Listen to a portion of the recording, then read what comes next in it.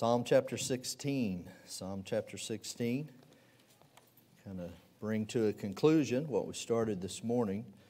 I was thinking as the fathers were singing, we taught this morning about centering our life on Him or keeping Him at the center of our life. And if you wonder, where would I start to do that? Uh, well, memorize that song that they just sang and repeat that over and over and over throughout the week, and that would be a good place to, to begin.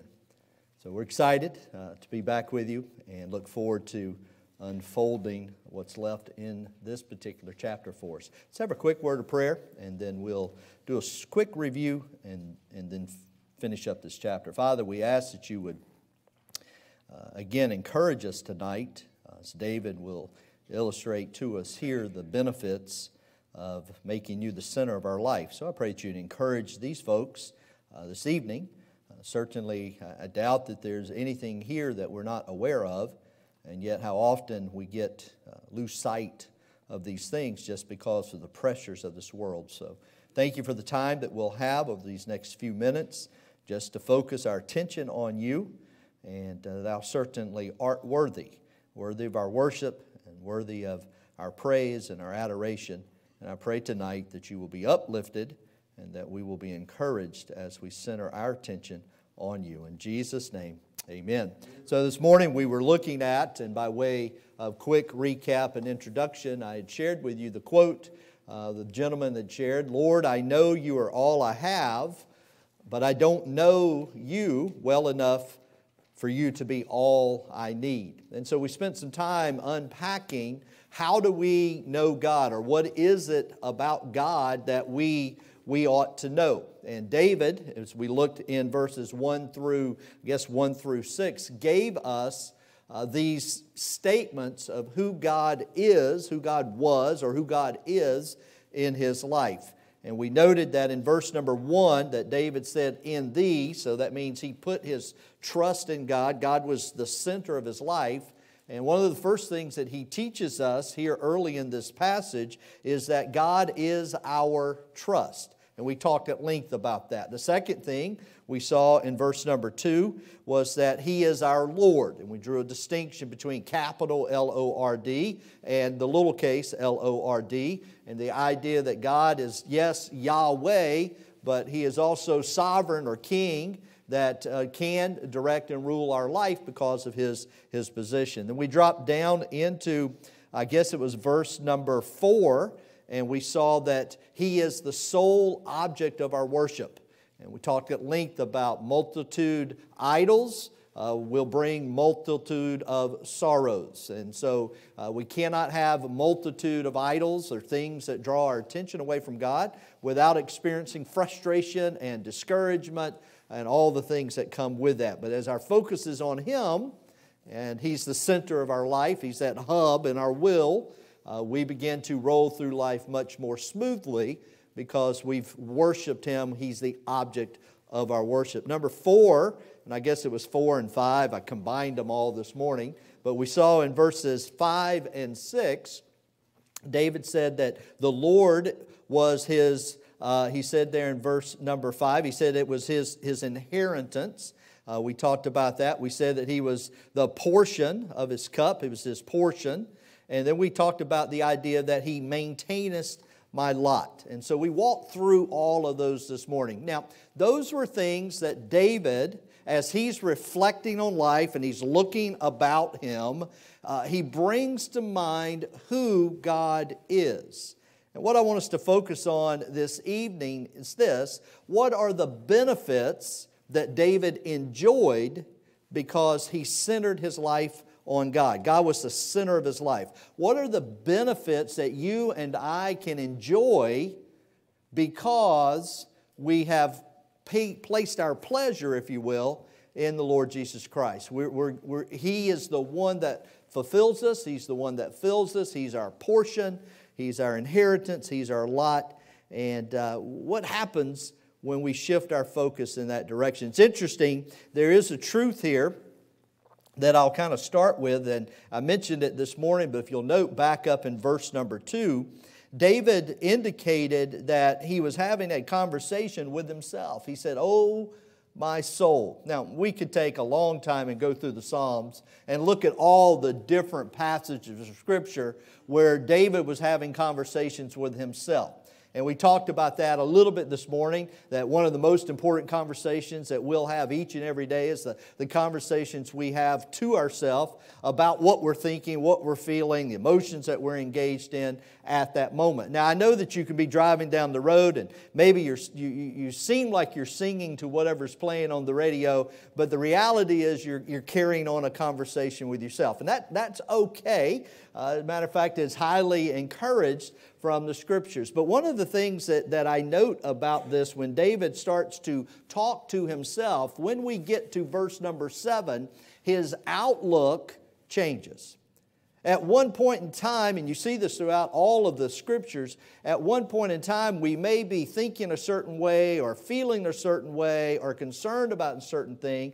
And when we shift our focus to who He is, it changes us inside out. It changes our outlook. And you'll see that in, in a minute when we get down to, to verse number seven. Uh, I use a phrase in a lot of the teaching that I do, and uh, the phrase is what you focus on expands.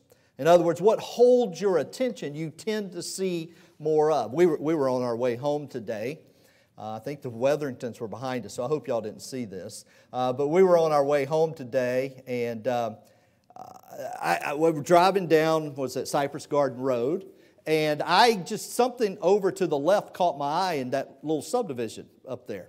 And uh, I was just looking at that, and the next thing I know, Tracy's calmly, very calmly, um, what are you doing? And I happened to look up, and well, I, you know, you're supposed to be in the right lane. I was pretty much all the way in the left lane. Now, fortunately, the cars that were coming were, well, they were a little ways away. They were coming. The point, though, in the illustration that struck me is where my focus is, is where I end up. And I'm just looking, and the car's just drifting over here. Now, fortunately, calmly, she brought me back into position. Uh, every now and then it's a smack upside the head that brings you back into position, but this time it was a nice calm thing. But the truth is, uh, where we focus is what holds our attention. And David He's not focused on circumstances, which he could be, right? He's been anointed king, but he's not king. Uh, uh, he's running for his life in many situations. He has a, a, lot of difficulties that are taking place and people trying to kill him, and yet he focuses on who God is. And when he focuses on God, it changes what he begins to do. So let's draw our attention, quick like, to verse number seven and look at here I think I have three or four benefits of living a life centered on God. Notice in verse number seven. You have to watch the first phrase because it's pretty neat. David begins, after talking about who God is, in verse number seven, you have a transition, and he says, I will bless the Lord who hath given me counsel.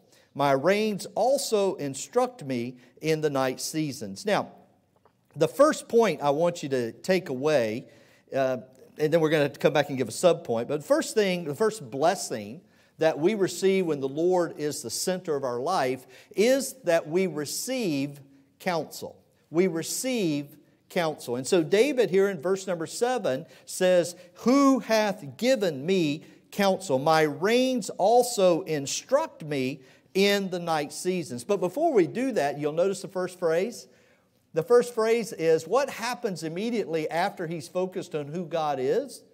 Immediately he says, I will bless the Lord. I will bless the Lord. So uh, the, the application for all of us is this. Once we focus on who God is and what God is doing in our life and what God has done in our life, it begins to place into perspective the challenges, the struggles, the difficulties with which we're faced. And all of a sudden, when David who easily could be distracted by everything going on around him, centers his attention on who God is, he can't help but praise God. He can't help but bless his name. And, and, and so, in, in these challenges times, David does that. And you can relate to that. Life has trials.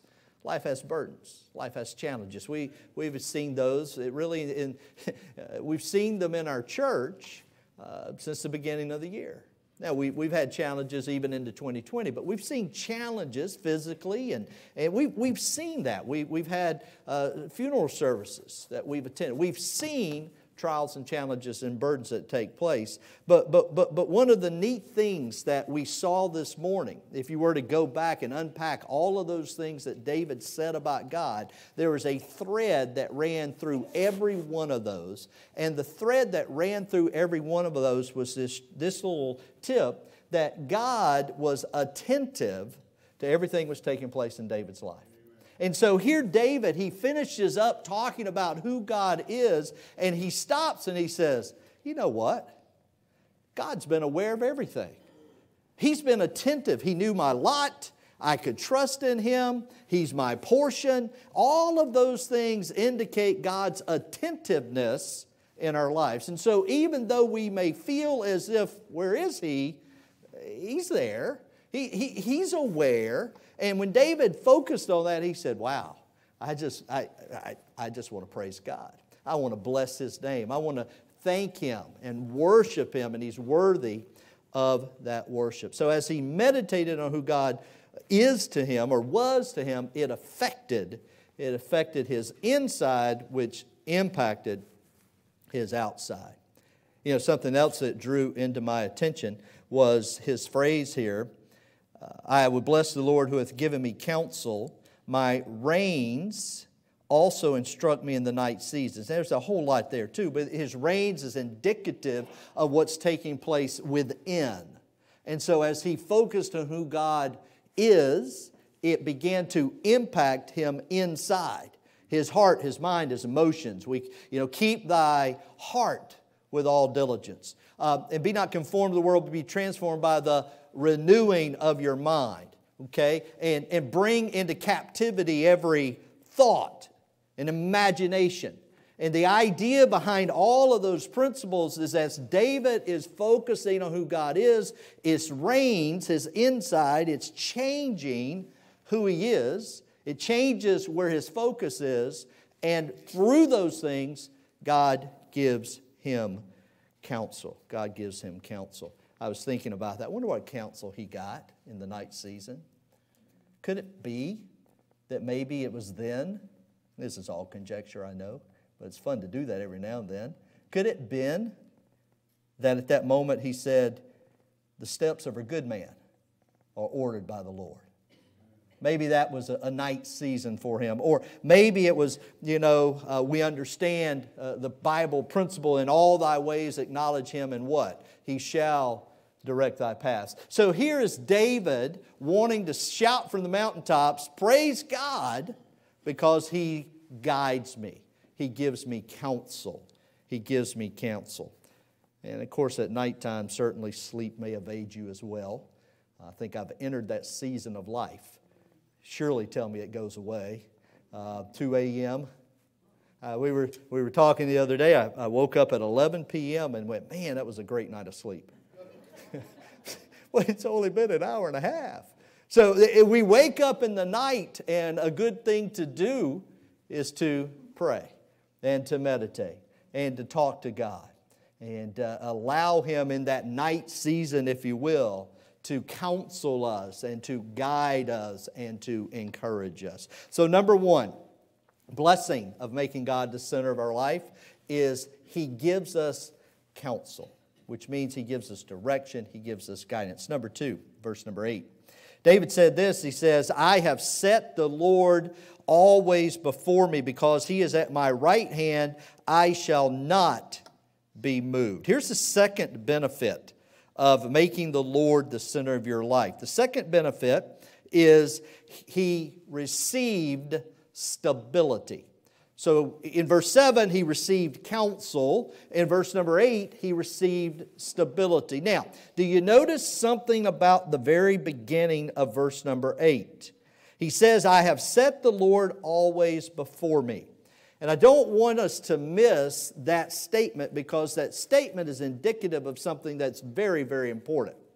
What did David do? David made a choice.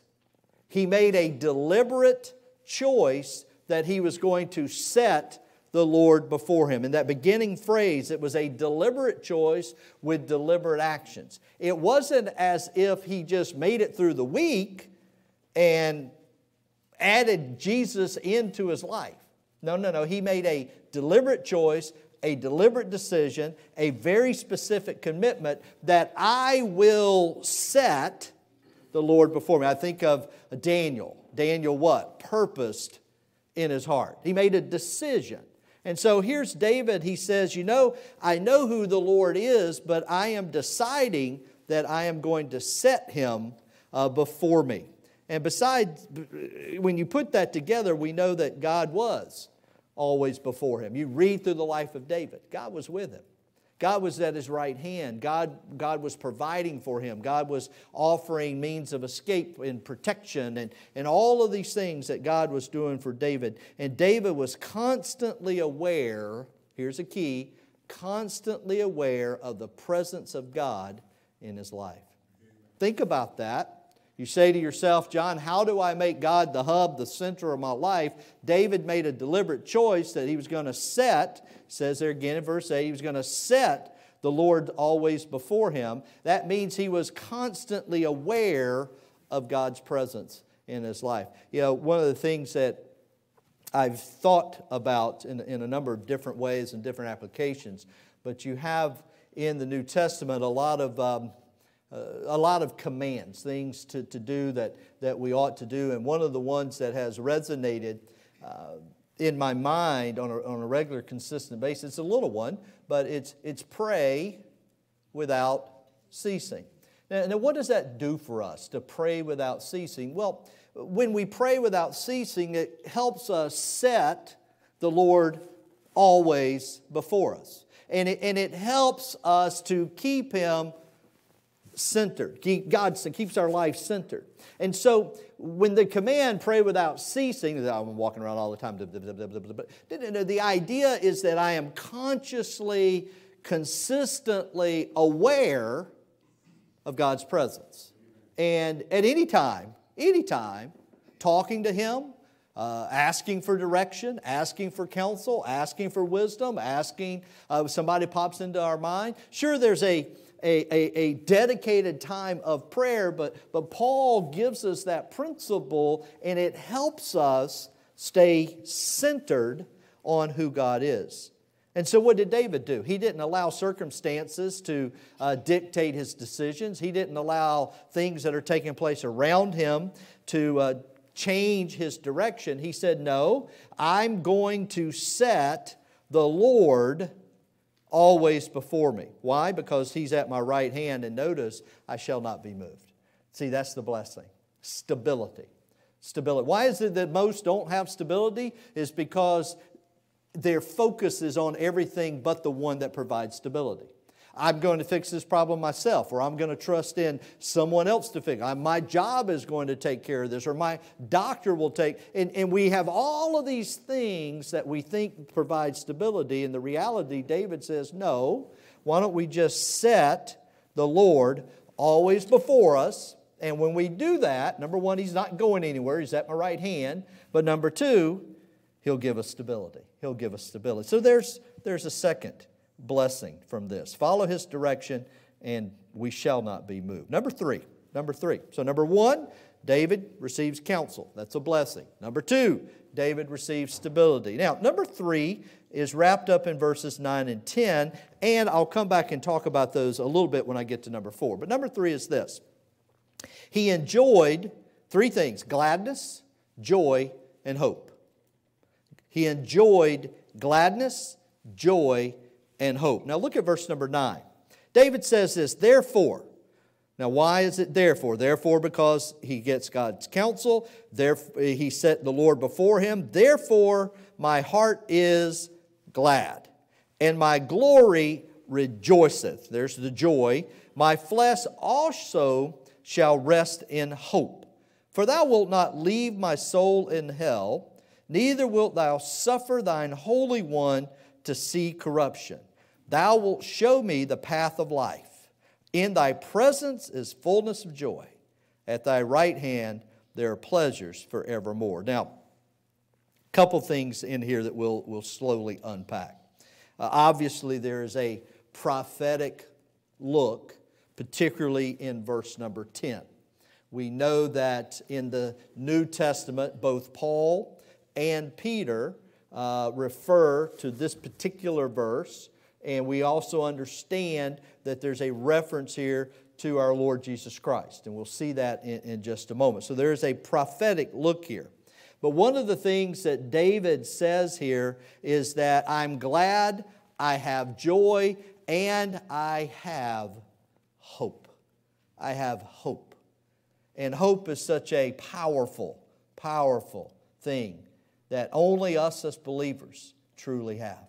Only us have hope. Some can only hope in what they have today, but we can go way beyond where we are today. We have hope in an eternity. See, David could face death, but he could also face life because he had hope. Yes, we all know that when we die, we will be in heaven. Absent in the body, present with the Lord. We have hope for eternity. We know that. We're going to have one day a glorified body. We have that hope. But please, let's don't understand, let's don't misunderstand the fact that we also have hope to live today. It's not just about tomorrow, and that's going to be really great. You'll see again when we get to verse number 11. But God says one of the benefits that you and I have today is we have hope. We have hope that He's going to be with us. We have hope that whatever lot He casts for us will be the right lot. We have hope that we can trust in Him. We have hope that as we worship Him and uplift Him, His presence is in our life. Everything that David had outlined in those first six verses give us a hope that nobody else can have, only us as believers. I was thinking about a couple of verses here. 1 Peter chapter 1, verse number 3 says, Blessed be the God and Father of our Lord Jesus Christ, which according to his abundant mercy hath begotten us again unto a lively hope by the resurrection of Jesus Christ from the dead. Not only that, in 1 Corinthians chapter 15, 19 through 20, if in this life only we have hope in Christ, we are of all men most miserable, but now is Christ risen from the dead and become the first fruits of them that slept. So we have hope here, but we also have hope for an eternity in heaven. Whatever we're going through today will be a blip before long, and it won't even matter much because we have that hope. And this is David, he says there in verse, You're not going to leave my soul in hell. Verse number nine, My heart is glad, my glory rejoice, my flesh rests in hope. And there's a great benefit of keeping God at the center of our life. And number four, in verse number 11. So not only this, David received counsel. That's a benefit of keeping God center of your life. Number two, David received stability. Number three, he received or enjoyed gladness, joy, and hope. But number four, and I've alluded to it in a different, couple of different ways, but I, I think it's important for us to end on this note. I won't put this as a past tense, this is present. One of the benefits of keeping God at the center of our life is David enjoys God now and forever. David enjoys God now and forever. Notice again in verse number 11, he says to God, in his, as he's having this conversation, Thou wilt show me the path of life. In thy presence is fullness of joy. At thy right hand there are pleasures forevermore. You know, the path of life, the path of life is not just how to live in this present world, but it includes that. What am I supposed to do tomorrow? What does my day need to be like tomorrow? Keep Him at the center of your will and He'll show you the path. It's not a secret. Eric talked about that this morning in Sunday school. God's will is not some secret that we can't know. It's available for us. But, but, but if I'm trying to live my own life, forget knowing God's will. Keep Him the center, and He'll show me the path of life. David, all of these things that God was doing for him, and he came to the conclusion because of who he is I know what the path of life is. Now, don't miss this, though. Where does the path of life lead? Notice where the path of life leads it leads to heaven. It leads to heaven. Thou wilt show me the path of life. In thy presence is fullness of joy, and at thy right hand there are pleasures forevermore. So, the path of life, it's not just how to live in this present world, the path leads to heaven. And what's the focal point of heaven? It's our Lord Jesus Christ. That's the focal point of heaven. And so Jesus will be within, in His presence and we'll worship Him. And as, as they sang, He's worthy of our worship. And with all of eternity, as we worship Him and we experience His pleasures forevermore. You know, we saw that in verse number 10. Jesus came and died for us. We know this truth. He came and died for us, but He didn't stay in the grave. We know that because his body, it says, neither wilt thou suffer thine Holy One to see corruption. He didn't stay in that grave. His body didn't get decayed. He rose again in three days. And, and all of those things are, are so significant for us because when David says in verse number 11, In thy presence is fullness of joy. Yes, in heaven. But he's in our presence as we speak. He's with us now. See, He's alive. He's out of that grave. He's at the right hand of the Father. And do you know He intercedes on our behalf? And He sent a Holy Spirit as a comforter. We can enjoy His presence today. And I think sometimes we get overwhelmed with the things happening around us that we forget to allow the joy of the Lord to be our strength. And so, what David does here is he simply says this God, I know who you are. I know who you are to me. And he gives us this list of who God is, which changes his outlook. What you focus on expands. And he sees who God is and he begins to praise God. And as a result of that, he has counsel. He knows what to do, when to do it, where to go, all of those things. He has counsel. We also know that from the counsel, he has stability. He has an anchor that's sure, steadfast and sure. It's his Lord Jesus Christ. He has an anchor. Then he gets down into verse number 9 and 10, and he says, I'm glad, I have joy, I have hope. And then what we see in verse number 11 is that he enjoys God's presence now. I think I mentioned it this morning, but I'll close with this thought. If it's okay, we'll close a little early. I'll close with this thought. We are going to enjoy His pleasures evermore. So, why would we not want to start doing today what we're going to be able to do for eternity? Enjoy His presence enjoy His presence. Keep Him at the center of our life. There's a song, a hymn. The chorus goes, I am certainly not singing it, but the words of the chorus are this All that I need, He will always be. All that I need till His face I see. All that I need through eternity. Jesus is all I need. May we come to the place where we center our life on Him, see Him who He as He is, understand, allow that truth to transform how we see the world around us, and enjoy the blessings that we have because we're children of God. Father, we thank you for these truths that we pull from uh, Psalm 16. Thank you for what David shows us, the, the empowerment of the Holy Spirit in the writings. Thank you, Lord, for the illustration of what can happen to our outlook about things going on around us when we focus on who you are. And God, we're thankful that you do show us the path of life, and we do thank you that in your presence there is joy. And Lord, I pray that in the midst of all that takes place around us, that we will make a determined effort like David, that we will set you before us and we allow you to be the center of our life. Be with these folks this week. Thank you so much for their faithfulness, for being here this evening. I do pray that you'd meet every need that they have. And Lord, I pray that you'd give them the desires of their heart as well. Thank you for loving us, all that you do for us. In Jesus' name, amen. Brother